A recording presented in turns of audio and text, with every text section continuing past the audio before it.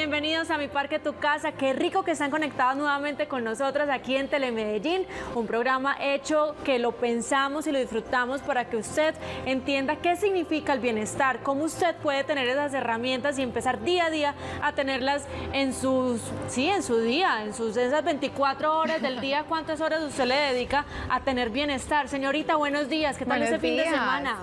Manu, sentí que no descansé, estuve con mi bebé, está en lo que llamamos los terribles dos, que es una oportunidad para enseñarles muchas cosas, pero te cuento que no, me faltaron horas para dormir, me Oh, faltaron horas Dios. para dormir, tuve días difíciles con mi Mati, pero todo es aprendizaje, me encanta también iniciar la semana así, porque esta mañana inclusive pensaba eh, la bendición que tenemos de despertarnos, de agradecer, de ver este día tan bonito. En Girardota, que yo soy de Girardota, el día estaba muy gris, pero completamente agradecida y obviamente por estar aquí con todos ustedes en mi parque Tu Casa. Así es, vamos a contarles cuáles son los temas de hoy, qué vamos a hablar en mi parque Tu Casa. Entonces, pues bien, hoy es el día de la secretaria. Hoy es el día de la secretaria y buscando sobre este tema, Manu, pues encontré que hay muchas historias alrededor y como que no había algo concreto de por qué se empezó a celebrar, pero hay una que sí coinciden muchas personas y es que en 1950 eh, en Estados Unidos hubo un concurso donde le pidieron a varias mujeres como que quién mecanografiaba textos más rápido. Sí. Pues ahí ese concurso se lo ganó una secretaria, entonces ahí como que comenzaron a resaltar, digamos, este día. Pero más adelante, inclusive el 26 de abril de 1970, un 26 de abril, se llevó a cabo el primer Congreso Interna- Internacional de, de Secretarias en Argentina y es ahí donde deciden que esta fecha se comienza a, a celebrar, a conmemorar y a dignificar este trabajo tan importante que es el de las secretarias, porque definitivamente puede ser una persona muy talentosa, pero si no tiene alguien ahí que le esté planeando, que le esté dando orden al día a día, No pasa es- nada. Es difícil, No es ejecuta. difícil, así es. Pues bien, hoy vamos a hablar precisamente de eso, entonces les vamos a hablar a las secretarias. eh, si usted apenas está iniciando, entonces, ¿cuál es el color correcto que usted debe llevar en sus uñas? El maquillaje, el peinado, el vestuario, los zapatos, el calzado, absolutamente todo. ¿Cómo ustedes pueden... eh, empezar como a armar esa figura y esa profesión y también si usted hoy está buscando qué regalarle a esa persona que tanto lo ayuda, también vamos a hablar de ese tema precisamente con un experto. Así es, también vamos a hablar de cómo cuidar las flores que nos regalan. Pues sí, así como este arreglo hermoso que nos eh, llena de color a nosotros, siempre queremos ese espacio también bonito en nuestra casa, pero muchas veces no tenemos idea de cómo cuidarlas, cómo cortarlas y hoy una experta nos va a enseñar todos esos tipsitos. Además, ¿por qué nos enfermamos? Vamos a hablar de ese tema también con una persona que nos va a explicar qué pasa en nuestra mente, qué pasa en nuestra parte física, la calidad de pensamientos, por qué llegamos a hablar de una enfermedad. Todo esto lo vamos a tener hoy en mi parque Tu Casa, pero quiero que iniciemos de una vez, que nos conectemos con esa frase del día. Hoy es lunes, le vamos a poner toda la actitud a esta semana y nos vamos a cuidar bastante, así que los invito para que la vean ahí en pantalla. Y dice, todas las relaciones que tienes con el mundo no son más que espejos de la relación que tienes contigo mismo. Todo lo que reflejamos, todo lo que tenemos es la relación que tenemos con ese ser interior, con nuestro yo. Así es, lo comparto completamente porque como tú te sientes es como te está reflejando no solamente en tu pareja, sino eh, con todas las personas que tienes a tu alrededor. Pero sin más preámbulo, empecemos entonces con ese primer invitado. Me Manu, encanta, por que favor. nos va a hablar sobre la imagen adecuada para llegar a la oficina y perfectamente hoy, inclusive con el tema de la secretaria, pues se les van a dar algunos tipsitos y está con nosotros a esta hora Humberto Arroyave, asesor de etiqueta y protocolo y maquillista. Humberto, buenos días. Buenos días, muy bien. ¿Ustedes cómo están? Bien. Muy bien, feliz. rico, pues ahorita cuando Luisa nos contaba de dónde salía pues esta celebración del día, la secretaria del secretario, porque podemos hablar también lo masculino, ¿cierto? Claro, hay secretarios también. Muy bien. Y eh, ella hablaba del tema de la mecanografía y todo. ¿A usted le tocó clase de mecanografía? No, no, no, no me No. tocó. Uy, estoy revelando los años. A mí me tocó clase Ya- de Ya mecanografía. estamos ahí hablando de edades y ahí sí, no, no, Ah, no, no, no, no, no. Bueno, muy bien, vamos a hablar precisamente qué le podemos enseñar a estas generaciones que de pronto en este momento están trabajando en eso, pero no saben cómo ir adecuado, porque una cosa es salir eh, a tomar un cafecito o comerse un helado, ¿cierto? O estar en la casa y otra cosa es cumplir ese rol de secretaria o de secretario. Entonces, ¿qué debe tener ella en esa parte física, en ese atuendo, que pues si lo decimos bien, es la primera imagen de esa persona cuando llega ese cliente o llega esa persona. Y hacerle honor a su profesión como secretaria. ¿Por qué? Porque la palabra secretaria viene de secreto. Sí. Entonces es importante que ella se limite pues como a todo este tipo de secretos que hay dentro de cualquier entidad o, o empresa. Ok. ¿Qué enseñamos? Mecanografía. Entonces, ¿qué pasa? Hay que tener unas buenas uñas, cortas, no muy largas. Ok. Hablaba ahora con Luisa y con Juliana de que a veces la tendencia y, los- las imágenes que vemos en todas las redes son las uñas extra largas, con pedrería, con diferentes colores. Bueno, todo lo que, lo que queremos poner, pero no, deben ser en colores neutros, se debe manejar todo lo que tiene que ver con color francés, Sí. color tono muy piel. ¿Por qué? Porque de todas maneras vamos a estar cambiando de vestuario todos los días. Porque un esmalte de un color oscuro se va a caer y se va a notar más cuando se está desgastando.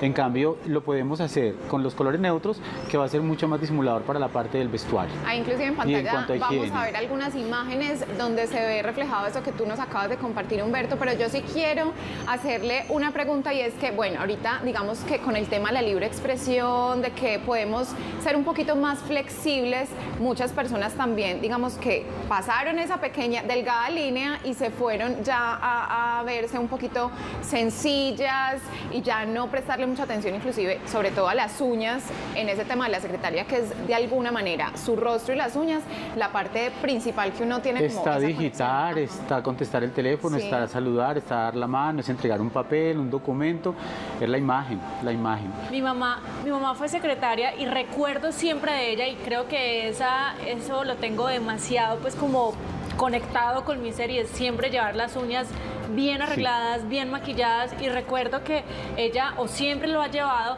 es que son eh, ovaladas, ¿cierto? Ajá. Y eh, utilizaban mucho el rojo, recuerdo cuando era niña que pasaba eso y además como ellas de alguna forma siempre están expresando y están hablando y se les está viendo el tema de las uñas, entonces estamos hablando de colores eh, claros. Neutros, Neutros, claros. Mire, ese color sí. suyo es un blanco y se ve perfecto. Sí. El de Luisa se ve perfecto. Además que sin, sin entrar a gustos de las personas porque no podemos ir respetar. Sí, claro. Y ahora la inclusión y los gustos son muy respetables. Ahora se utiliza una uña roja, verde, morada, anaranjada y una bandera. Pero no, eso no. Yo tengo Para una, oficina no, pero si es una oficina, una entidad, una empresa donde se maneje diseño gráfico, se vale. Claro. Se vale. Todo de acorde Sí, a lo que estemos ahí. Humberto, yo por ejemplo a cambio de Manuela he sido mucho de mantenerme las uñas muy transparentes, organizadas Sí. pero muy transparentes. Ahí, por ejemplo, en el tema de una secretaria, siempre la recomendación es llevarlas con algún color Mejor. que se noten. Tonos muy piel, neutros o francés. Perfecto. Y si pasamos ya al tema del maquillaje, hay unas que pues de pronto no les gusta maquillarse y dicen, no, el maquillaje y yo no somos amigos, entonces yo me voy así carilavada. Y hay otras que pasan la línea, entonces uno las ve con eh, unas líneas muy marcadas. Mucho Entonces, delineado. Sí. ¿Qué recomiendas Ya ahí? si usted va a recargar los ojos, no recargar los labios, eso lo sabemos en maquillaje. Pero si no es muy de maquillaje, entonces utilizamos la capa de base, la capa de polvo, solamente una sombra, una línea felina si le va al párpado y un color eh, eh, en los labios, un tono más subidito para que le dé más fuerza al rostro y a, los- a la mirada. Eso sí, evitar los tonos rosados y no colocarse o aplicarse un maquillaje o una sombra igual al color del vestido, porque se ven monótonas. Se ven mejor tonos tierra. Debe haber inclusive- armonía y deben haber tonos muy tierras, tonos cálidos y que van con todo tipo de vestuario. Sea con, hay secretarias que tienen uniformes, entonces va con uniformes o va con el día a día del vestuario de cada persona. Humberto, ahí estábamos viendo inclusive en la imagen anterior Jessica Alba con un recogido. El pelo también es parte fundamental de esa buena presencia, sobre todo en el tema de las secretarias del secretario. ¿Cómo se debe llevar adecuadamente, eh, contando si son crespas o lisas? Qué buena pregunta. Si va a haber un cabello crespo, Sí. que vaya con lo afro, espectacular pero bien hidratado, Ok. ¿cierto? Y si va a haber un cabello lacio, extra lacio, pero no el abuso de las gominas. O sea, no es muy bien visto la ondita aquella como de cuando éramos o eran pequeñitas. No, no, no, no, no. Y otro punto, no hacer lo que yo llamo la cebollina de trapear, que cogen y se hacen el nudo y el chulo de un color blanco y el cabello es negro. Ok. Siempre que... Debe haber, o si te vas a hacer una cola, debe ser una cola definida a la coronilla. Si va a ser una cola al cuello, una cola definida, pero si es una estatura baja, mejor la cola a la coronilla. Pero nunca cubrirla o taparla con un chulo. Es tan fácil coger uno de los mechones y envolver ese chulo, que se vea que se peinó para ir a la oficina. Pero no la cebollinita porque te faltaría solo el lapicero y no más. Y las que somos o las que son pelicorticas, ¿qué pasa ahí con ellas? Cabello suelto, como lo tienes, sin ningún Listo. problema. Ahora, si quieres hacer unas ondas marcadas, sí, pero lo que yo voy es no la onda así como medio, como recién salida del baño, no. Bueno, Humber- Humberto, en cuanto al vestuario, siempre se habla de blazer, de tacones, de camisas, pero de pronto, si no se quieren ver a veces muy adultas como con lo tradicional, ¿cuál es la recomendación para salir de, de- de lo Tra- tradicional? Sí, tratar de que la falda no baje de, de la rodilla, si se quiere más juvenil, entonces que suba cuatro dedos de la rodilla. Se valen los jogger, pero si es un viernes. Perfecto. Yo te iba a hacer esa pregunta. Sí. Pero empecemos, de lunes a jueves, ¿qué podría ya ser? un viernes usted se puede vestir de otra manera. Sí. Los colores a llevar va dentro de la gama de los azules, los gris, los vinos, pero yo los puedo combinar con un estampado. Eso sí que el estampado vaya en la parte superior. El eje central de todo ser humano es de acá para arriba, o sea que el rostro es el que llama la atención. Entonces el color oscuro va de la cintura hacia abajo y en la superior colocamos los colores más fuertes, digámoslo de esta manera. Pero no combinar dos ácidos o dos pastel a la vez. Debe ser un color oscuro con uno más llamativo. Entonces no me tengo que ir toda de gris, toda de rosado, toda de verde, no. Puedo combinar ese gris con un color más fuerte, un estampado en amarillos, en naranjas, como vaya el gusto de cada persona. Eh, Humberto, ¿y el calzado? El, Pues, el calzado, muy buena esa pregunta, pero Manuela. También que se vea, ay, también es muy importante. Mire que lo que decía Luis ahora, lo de que para no verse tan mayores, es que es verdad, no es necesario. Si usted quiere ir con unos tenis, se puede, con unos tenis, pero que no vaya muy recargado de estampas, de marquillas y demás, porque no se vería como bonito, ¿cierto? O con demasiado brillo, pero en este caso el calzado no debe sobrepasar los 8 centímetros. Eso sí está claro. Hay algo que a mí me encanta y que en oficina realmente llama mucho la atención, la atención y son los diferentes accesorios, los aretes, las pulseras, las pañoletas, los bolsos. ¿Cuál es la recomendación Tratar también de que para no haya extravagancia porque también la tendencia es sobrecargarnos un poquitico, pero lo que pasa es que ya en una oficina hay que contestar el teléfono, hay que atender al jefe, hay que digitar, hay que correr para allí para allá, entonces demasiados elementos no funcionan. Topitos. Sí se vale o se vale el arete que no sea un distractor o un problema para contestar al teléfono, así haya diadema. Y en cuanto a los tenis, lo que les decía, sí es bueno un zapato cubierto y siempre en el vestuario que vaya una chaqueta porque salen de pronto en la noche y no saben si tienen que presentarse a una comida, a una cantidad de eventos, entonces tener la chaqueta. Bien, ya hablamos de cuál es esa estructura, ¿cierto? Que debe tener la secretaria, el secretario. Y si hablamos de los hombres, porque ahorita dijimos también se vale para ellos, ¿cuál es esa recomendación? Porque entonces ellos deben utilizar corbata o se vale, o cómo, ¿qué no, le podemos no es como- necesaria la corbata, no es necesaria. Puede ir con una bonita camisa, puede ir con su blazer y su pantalón corto italiano y un- hasta con el mocasín y no queda mal. Si es pues el secretario. Ok, perdón, ¿vale, ¿vale el tema de los tenis para él con eh, pantalón y camiseta o Pero hay que aclarar, los tenis no es todos los días. Ok. Eso sí. Yo quería, eh, Porque me una secretaria de gerencia con Manu, porque es que tenis- ahora queremos comodidad. todo el Desafortunadamente ahora el problema de los tenis se volvió que los tenis, los tenis, los tenis, los tenis, pero eso no es así. Hay lugares, eventos, fiestas y momentos a laborar que Sí. no permiten los tenis. ¿Qué tal que usted esté todo el día trabajando y tenga que presentarse a una reunión urgente a representar al jefe en la noche, que es muy posible, y usted esté de Claro, tenis? claro, sí. Entonces no. Humberto, pero sí, por ejemplo, ahorita no, no hablamos de tenis deportivos, sino que Sí. ya el diseño ha avanzado mucho, tienen líneas muy suaves, los colores. se Nosotros los vale estamos ayudando para que... Pero hay Se lugar, vale se vale, teniendo pero hay, dependiendo un su buen traje, cargo. por ejemplo. No, sí se vale. Usted puede ir con un traje totalmente oversize, bien amplio, bien espectacular, y puede agregarle eh, los tenis que vayan acorde, sí. Pero me pregunto, si va a ir a una comida, acá no, No, no, podemos dar nombres, a X hotel o restaurante, no va a poder llegar como la secretaria de tal gerente de X empresa de tenis. Va a llegar con su zapato de tacón, independiente Bueno, sí. El tamaño de 4 hacia arriba, pero que no sobrepase los 8 centímetros. Pero un viernes le tocó trabajar un sábado, utilice sus tenis, pero hay momentos Sí, en que hay los espacios. tenis, sí, Está bien. Muy bien, ya hablamos de toda esa estructura, pero ¿qué tal? Hoy es el día de ellas. ¿Qué les podemos regalar? ¿Qué le podemos obsequiar? ¿Qué Hay sería como lo indicado? Cuéntanos.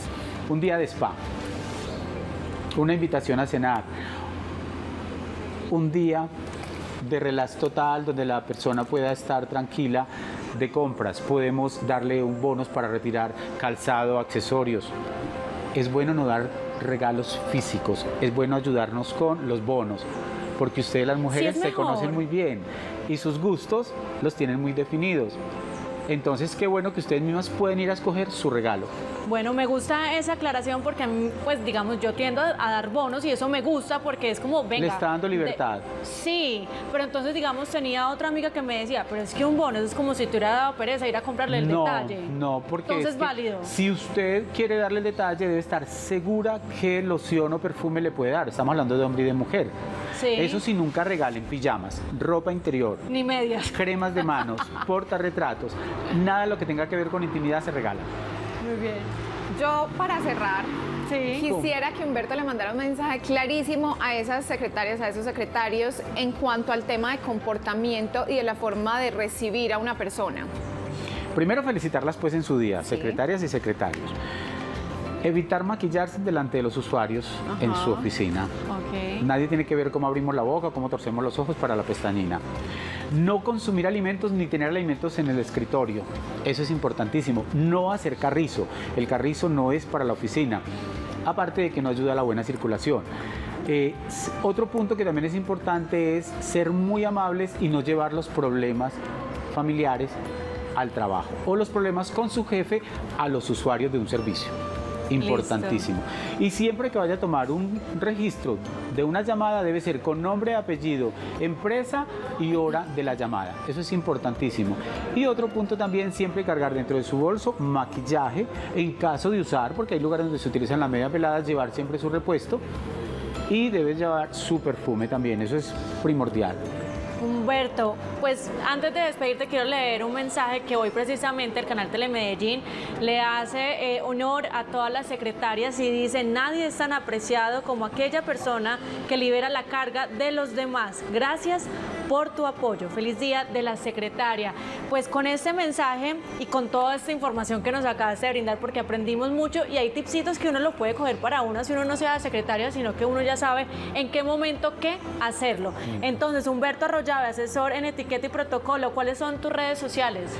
Eh, Makeup Imagen, Humberto Arroyave. Perfecto, mil gracias por estar A aquí en mi parque mil tu gracias, casa. siempre de la orden, con mucho gusto. Un abrazo gigante. Mil gracias, lo Humberto, mismo. gracias y te invito para que tú, Manuela y Sí. todos los televidentes se conecten con esta campaña que está promoviendo la Alcaldía de Medellín en este mes de la niñez, porque la invitación a que tengamos una comunicación asertiva entre padres e hijos, pues esta campaña yo creo que está moviendo fibras y se llama Llegarán tan lejos como tus palabras se lo digan y acá les tenemos el video para que se conecten y de verdad le pongamos atención a cómo le hablamos a nuestros niños.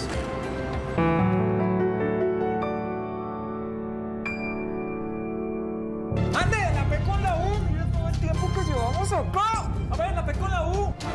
Uy, no, usted sí es bien bruta como un animal, parece una bestia. A la edad de 13 años, cuando River Plate decidió comprar los derechos deportivos de mi hijo, y le dije, no, papito, yo no te dejo ir porque estás muy chiquito. Y me dijo, mami, apóyame, ayúdame. Esta es la decisión mía. Yo voy a jugar fútbol profesional. Esas palabras de él fueron las que me movieron y decidí apoyarlo para que él viajara.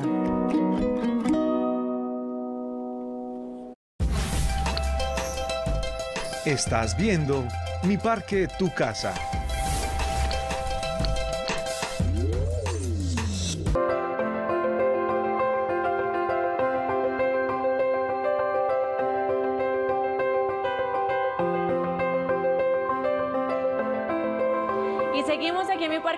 Casa. A mí me encanta ver esas ardillas acá. O sea, para mí, yo las veo y paso por el puentecito y digo yo, estas hermosuras. Y nos dedicamos a verlas y a disfrutar de esos espacios que nos brinda el canal Parque Telemedellín y que me encantaría que ustedes pudieran pasar y pudieran ingresar. Pero esto es de tiempo y de cuidado, pero ojalá sea muy rápido. Ya tendremos ese momento donde ustedes puedan regresar, puedan compartir este espacio con nosotras, puedan disfrutar de estos sonidos que nosotros Ay, todas las mañanas disfrutamos Sí. aquí en mi parque, tu casa.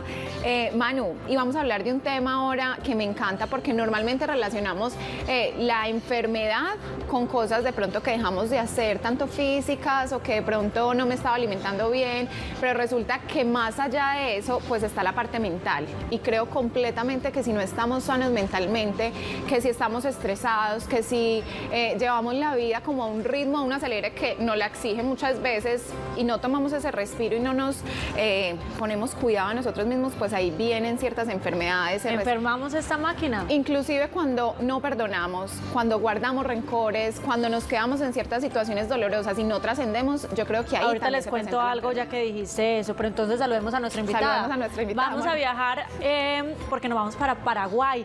Carolina Soski, nutricionista, ¿cómo estás? Bienvenida. Muchas gracias, un placer estar aquí desde, desde Paraguay, mi país, con ustedes y la verdad que ese, ese ambiente me transporta, quisiera estar ahí con ustedes y me encanta donde están, se ve muy bonita la naturaleza ahí. Carolina, para mí es un placer y esto, digamos, es lo, lo positivo de esta situación tan negativa que estamos viviendo a nivel mundial y es que nos podemos conectar con otros países, con otras ciudades y por tener eh, profesionales como tú. Carolina, vamos a hablar de ese tema de por qué nos enfermamos. Cuando hablamos de enfermedad, solamente hablamos de esa enfermedad física, mental. ¿Por qué llegamos a ese punto? ¿Por qué hacemos que nuestro, nuestra máquina tan sagrada llegue allí? Es muy buena la pregunta y realmente hasta hoy no se sabe el motivo por el cual nos enfermamos o no se sabe a ciencia cierta porque son tantos los factores que nos enferman y es como que el ser humano cuando está sin enfermedad o cuando está sano, vamos a llamarlo así, que es la definición de la, de la OMS, que, la, enfermedad o la salud es la ausencia de enfermedad, es como que se busca enfermar. ¿Y cómo se busca enfermar ese ser humano? Estresándose, viviendo en el pasado, eh, estando pendiente del futuro, de las preocupaciones. Entonces, por supuesto, los malos hábitos, el estilo de vida tiene muchísimo que ver, pero también, como ustedes lo decían recién, la mente. La mente nos enferma y nos pone en una situación donde nuestro cuerpo se va debilitando a nivel de defensa y somos más propensos a enfermar. Carolina, este programa está enfocado a, eso, a encontrar nuevos hábitos que nos lleven a ese bienestar, a esa salud mental y física. Para ti, ¿qué es bienestar hablando, digamos que de, esa, de eso de mantenernos saludables? Realmente, bueno, en mi rol de nutricionista, yo, yo trabajo mucho con, con la búsqueda del bienestar, ayudando a mis pacientes a, a sentirse bien. Y, y he tenido y tengo todos los días experiencias de pacientes que no precisamente vienen a consultar por una enfermedad o porque están enfermos, sino porque buscan optimizar su salud, porque buscan calidad de vida y buscan tener un mejor rendimiento físico, mental. Entonces, para mí, eso sería la clave del bienestar, es que la persona diga, puedo estar en mi mejor momento, ya sea físico, mental, no me siento cansado, eh, siento que mi cabello está bien, que mis uñas están bien, o sea, es un equilibrio general, físico y mental. También hay que ver la forma en que recibimos los alimentos y también eso hace, eh, se complementa o de alguna forma va en la línea de qué estamos alimentándonos, qué estamos pensando en ese momento, qué estamos sintiendo en el momento en que estamos ingiriendo los alimentos. Entonces, ¿qué circunstancias podríamos hablar que nos lleve a que nos enferme y que enfermemos algunos órganos? Es muy interesante la pregunta y ahí tenemos que tener en cuenta que hay dos factores también muy, muy interesantes a la hora de hablar de enfermedad. Uno es la genética. Nosotros podemos tener una genética, digamos, eh, propensa o, o vulnerable ante la enfermedad, que es lo que heredamos de los padres y es lo que yo siempre digo, viene de fábrica. Pero eh, hay un concepto muy interesante y muy nuevo que se llama la epigenética, que es lo que nos rodea, lo que sentimos, lo que comemos, lo que tocamos. Por eso hay una frase que siempre escuchamos y es muy frecuente decir, somos lo que comemos. Pero yo diría que esa frase está incompleta porque también somos lo que sentimos, justamente lo que olemos, lo que tocamos. Una persona puede estar pasándola bien, teniendo un buen momento, pero recibe una llamada con una mala noticia y automáticamente se enferma o su sistema inmunológico cae. Y esto es justamente uno de los motivos que hace que también nos enfermemos. El estrés, por ejemplo, ¿no? que es tan importante y que estamos hoy en día tan, tan expuestos al estrés eh, por todo lo que tiene que ver con lo que está pasando a nivel mundial. Doctora, me, me encanta lo que acaba de compartir y pienso mucho en que no nos enseñaron a a entender nuestras emociones. Y por eso muchas de ellas son reprimidas y simplemente cuando ya pasan los años pues nos encontramos con situaciones muy dolorosas cuando nos enfrentamos a una enfermedad. Y cuando se va a esa base a qué detonó esto pues es porque no sané, no entendí esta situación, no me di como el momento de sentirla y de trascenderla. Hablemos un poquito de eso, de por qué no debemos reprimir las emociones y, y aprenderlas a entender y a traspasar. Tener emociones es algo natural, es algo positivo. Emociones como miedo, rabia, eh, tristeza, pero esas emociones justamente si, sirven para algo, si nos ayudan a, trascender y decir, bueno, que la tristeza me lleve a buscar un estado de, alegría o que la rabia me lleve a, hacer cosas cada vez mejor para, justamente no volver a caer. Pero cuando la persona queda atrapada en esas emociones, cuando no puede salir, cuando no puede perdonar, cuando no puede dejar de sentir de rabia, de sentir tristeza, es ahí donde la persona se enferma y es justamente por no poder controlar esas emociones, por no poder manejarlas y es ahí donde el cuerpo empieza a afectarse, ya sea a nivel orgánico, ahí puede aparecer cualquier tipo de enfermedad que, no vamos a decir que, que una enfermedad es propensa a una persona porque, porque, porque alguna emoción le afectó en un órgano, sino que esto es algo muy genérico, es algo que la persona se puede enfermar de cualquier cosa simplemente por no poder controlar correctamente esas emociones y esos sentimientos que está teniendo. Si la persona toma esas emociones y saca lo positivo, que para mí ahí está el mensaje interesante, que todas las situaciones difíciles que vivimos siempre podemos buscar algo positivo, siempre podemos encontrar, bueno, tengo este problema, pero a la vez tengo familia, estoy me siento amada, me siento querida. Siempre hay algo bueno que uno puede encontrar para poder sanar y para poder no solamente sanar, sino para poder seguir adelante y poder eh, manejar mejor estas emociones. Muy bien, Carolina, acabamos de entender y ya hablamos de esas circunstancias y hablamos de esas emociones que podemos estar pasando y sintiendo muchas veces por situaciones que tengamos internas o que la parte externa pues llegue con, con eso que nos eh, haga que de alguna forma el equilibrio se vaya por completo. Entonces, ¿qué hacer en el momento de aprovechar los alimentos y más cuando estamos hablando de emociones, alimentos y que realmente esos nutrientes cumplan ese papel tan importante en nuestro cuerpo. Entonces, ¿qué debo hacer en el momento de cuando voy a almorzar, cuando voy a desayunar, cuando me voy a comer una manzana? ¿Qué tiene que pasar por mi cabeza y hasta por mi cuerpo y hasta por mi boca cuando sucede este acto?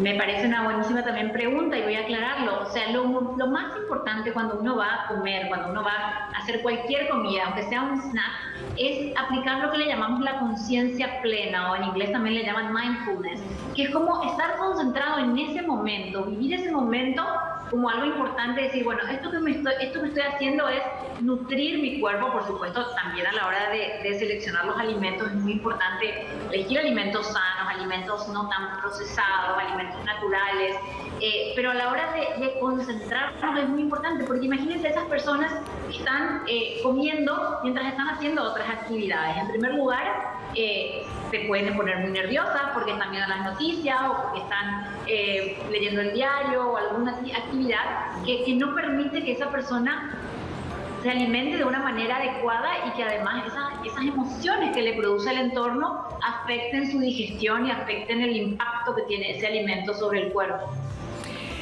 Eh, Carolina, ya para terminar, un mensaje final, inclusive con esa última frase, qué tan importante es esa digestión.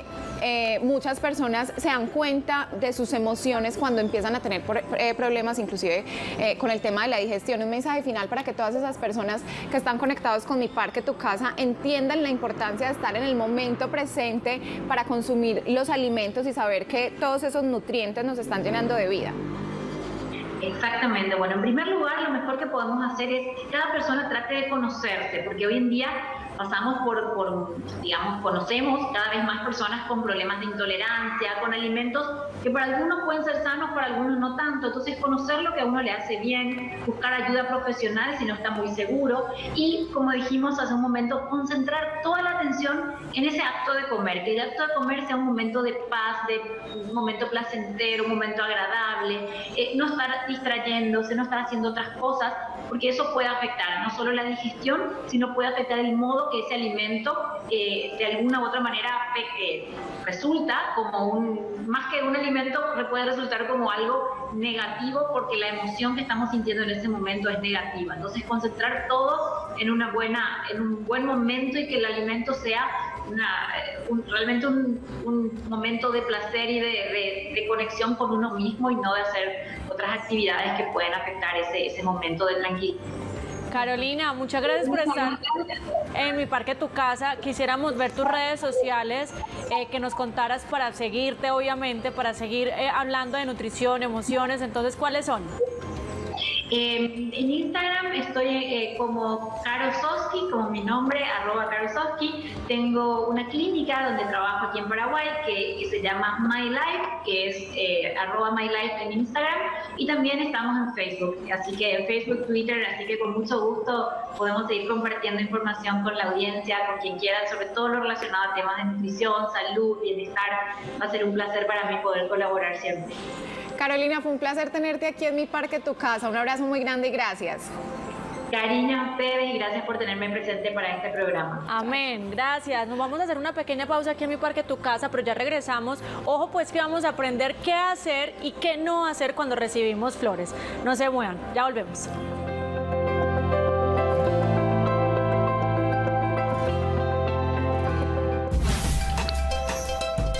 Estás viendo mi parque, tu casa.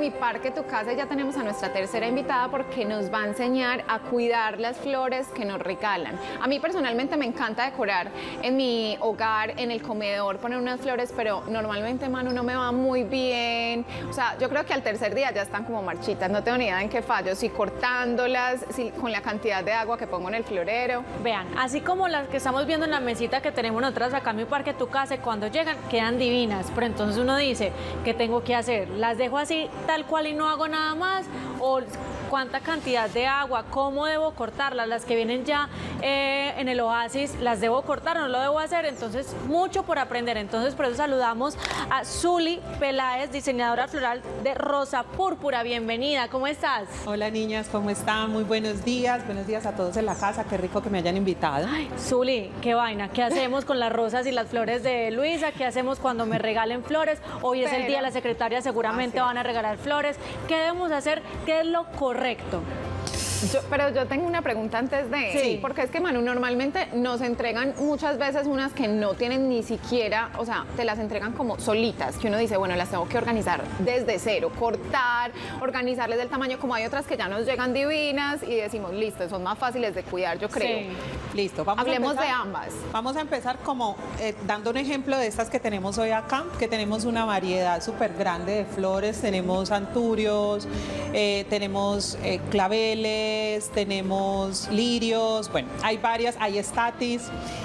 Y esas están en esto que conocemos como la espuma floral, que ya viene hidratada, ¿cierto? Ya viene organizada.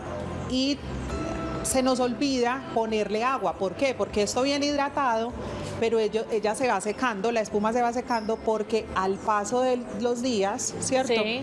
Esa flor está tomándose esa agüita para poder mantenerse pues como en el tiempo. Entonces, ¿qué nos toca hacer? Ponerle un vasito de agua todos los días. Un, vasito, de agua. Listo. Un vasito de agua, agua fresca y limpia. Si a nosotros nos gusta tomar agüita limpia y fresca, pues a ellas también son un ser vivo, también necesitan agüita fresca. Pero a ver, ¿le roceo con un, eh, con un atomizador o definitivamente la abro como en la mitad a meterle el agua? Abres en la mitad y pones el vaso de agua. Si por ejemplo tienes una flor como en este caso, como la, como la hortensia, ¿cierto? Que es una flor que no solo bebe agua por absorción, sino también por inmersión. Entonces, ella se recomienda a las, a las, a las hortensias, Hortensias. rociarlas un poquito con agua. Y otro truco súper importante, los cultivos nos mandan estas flores así divinas con estas hojas preciosas, pero estas hojas preciosas van tomando, ah, van toma- el tallo va tomando, va tomando el agua y, la, y el agua se va quedando en estas hojas. Ah, entonces no cuando permite- ya llega la flor, ya no llega casi nada o no llega. Ok. Entonces lo primero que deben hacer cuando reciban hortensias es quitar las hojas. Listo. Y cortamos siempre en diagonal ¿Por qué en diagonal?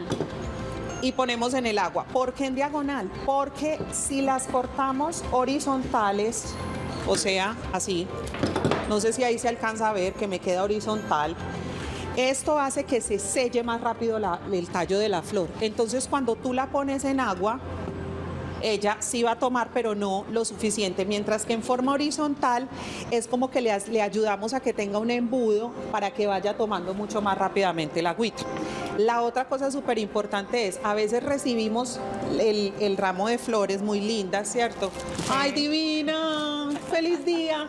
Y llegó la flor y entonces están, chum, ponemos en agua y ahí pensamos que es que ya, ahí ya con eso me libré. No, con eso no me libré. Tengo que tomarme el tiempo, quitarle el empaque, muy Las linda, hojas, en quitarle este las hojas, cortar tallos y poner en agua. ¿Por qué? Porque a usted cuando llega es la calle, ¿cierto? Usted no le gusta estar así apretado, usted le gusta estar libre, libre. que el oxígeno circule, entonces eso ayuda a que la flor se mantenga más rápido, se mantenga más tiempo. Me encantan esos tipsitos, o sea, a todas hay que quitarle las hojitas, no solamente por eso, sino que también he visto que el agua se pone terrible, como que se pudren. ¿Por qué? Cuando yo pongo el agua, mira, esto es súper importante. Sí. Mientras más limpie, ¿cierto? Yo limpié. Si me quedan hojas, eso es algo súper importante, si me quedan hojas en el agua, ¿qué va a pasar? Esas hojas se van a descomponer mucho más rápido. Entonces el proceso de descomposición del agua va a ser mucho más rápido. ¿Y qué va a pasar con esta flor? Se va a morir súper rápido porque, vuelvo y digo, a nadie le gusta tomar agua sucia. Entonces eso va produciendo unos gases que hacen que el proceso de descomposición de la flor sea mucho más rápido. Ok, quiero saber si el tema de es mejor, pues acá estamos viendo un arreglo floral y estamos viendo que hay mucha variedad de, de flores, pero se podría decir que hay algunas que hacen que el agüita que le ponemos se deteriore más fácil que otras flores o definitivamente eso no importa qué combinación de flores hagamos para tener nuestro arreglo y que obviamente perdure en el tiempo. Eso sí se debe tener en cuenta. Ahí hay flores que requieren mucha más agua que otras flores. Las hortensias, por ejemplo, yo cariñosamente les digo flor de agua. ¿Por qué? Porque esta sí o sí tiene, tiene que mantener mucha agua. Lo mismo que los lirios. Los lirios son flores que necesitan absorber demasiada Sí. agua para que puedan abrir. Otra flor que necesita mucha agua, los eucaliptos. Los eucaliptos necesitan mucha agua, entonces a veces tú ves el jarrón y tú dices, tú tienes un- una, unas hortensias y tú dices, ay, pero ¿en qué momento se acabó el agua, se evaporó? No, ellas se están tomando, se están alimentando. Pero hay otras flores, digamos, por ejemplo, como esta, que es el estatis, que las abuelitas la conocían como la siempre viva. Esta es una flor que no necesita mucha agua. De hecho, es una flor que cuando seca, ella se sigue viendo así, así bonita. Le podemos poner incluso menos de la cantidad de agua que tenemos acá para ponerla en un jarrón y te va a durar mucho tiempo. Zuli, la- las dejas quietas un momentico para que eh, ahorita puedan eh, cogerlas bien ahí. Eh, ahí estábamos viendo y yo les decía ahora, porque la gente solo regala rosas. Tanta variedad que tenemos, tantas hermosuras que podemos Entonces, pues precisamente cómo podemos hacer porque hoy estamos viendo este arreglo floral que tenemos acá y estamos viendo la combinación de todas estas y nos está dando los cuidados. Entonces, ¿cuál es el mensaje que hoy queremos dar a esas personas que les gusta comprar flores, que les gusta arreglar y hacer sus propios arreglos? Porque en casa, tú lo decías, qué rico Sí. no hacerlo y eso se vuelve un plan, porque tú tienes ese plan en tus redes sociales. Ella te envía a ti el paquete de las flores y es diviértase, consiéntalas y armonice y vuelva a su lugar muy especial y bonito. El mensaje más importante es, vivimos en el país con mayor, uno de los países, es el cuarto país con mayor variedad de flores en el mundo. O sea, aquí se ven unas hermosuras, exportamos flor todo el tiempo. compremos flores para la casa, aprendamos a cuidarlas. La duda que tengan, consultémosla en internet, vayamos a las redes sociales de floristas y aprendamos a cuidarlas. El otro mensaje súper importante es, vivimos en la ciudad de las flores, o sea, es, es el, el, oriente antioqueño tiene gran variedad. Regalemos de toda clase de flores, claveles, lirios, hortensias. Las rosas son unas flores hermosas, pero sí, su proceso de descomposición es mucho más rápido que el de otras flores, por ejemplo, como los lirios. A mí los lirios me parecen divinos y no se descomponen tan rápido como se descomponen las rosas. También.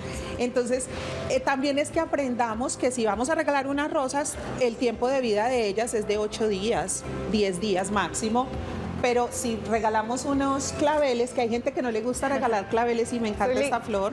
Aprovechando que estás mencionando la gran variedad y que muchos desconocemos esa gran variedad, eh, qué rico que nos regalen las redes sociales para que las personas se, eh, se conecten contigo, aprendan y, y, obviamente a partir del taller de Rosa Púrpura aprendan también de las diferentes flores y cuáles son mejores. Nosotros estamos como Rosa Púrpura Taller Floral en las redes sociales. Eh, ahí vamos, les estamos enseñando a veces cositas de cómo cuidar las flores y de cómo mantenerlas en la casa. Me encanta, ahí lo estamos viendo en pantalla, tu Instagram y también tu celular para que las personas se comuniquen contigo. Y también, Zuli, no te vayas porque quiero pues que tú hoy nos estás enseñando a conectarnos con las flores, con las plantas, cómo cuidarlos, cómo es la agüita que, se debe, que ellas deben de beber debe estar limpia, pero también cómo podemos hacer para conectarnos desde el amor. Y por eso hoy en la cápsula Bienestar nos acompaña Felipe Corrales, entrenador de vida y amor.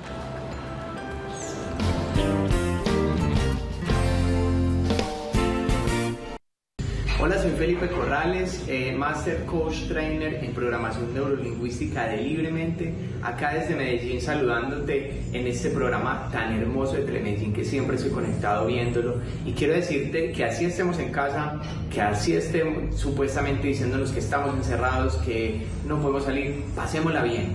Ustedes tienen la habilidad de decidir, ¿cierto? Podemos decidir si pasarla mal en este tiempo o pasarla bien. Entonces quiero que se conecten con la energía y la vibración del amor, que se conecten con la sanación. Vamos a, a emitir esa sanación a todo el planeta para que todo pase bien en esta época. Quiero darte la esperanza de que las cosas van a salir muy bien. Entonces nos vemos.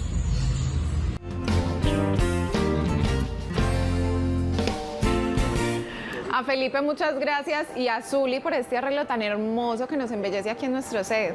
No, con mucho gusto, a mí me encanta llenar de color, de magia los hogares, los espacios, así me que encanta. mantengan flores en su casa para que se llenen y se recarguen así de súper buenas energías. Zuli, te tenemos tiempo. que volver a invitar para que estés aquí en mi parque tu casa y nos des, venga, ya la próxima la voy a invitar, pero para que hable de flores y las mascotas, cuáles debemos de tener y cuáles Ay, no. Sí. Nos vamos, mi parque, tu casa, sí. 9.35 de la mañana, para que ustedes se conecten con la vida saludable. chao. chao. chao.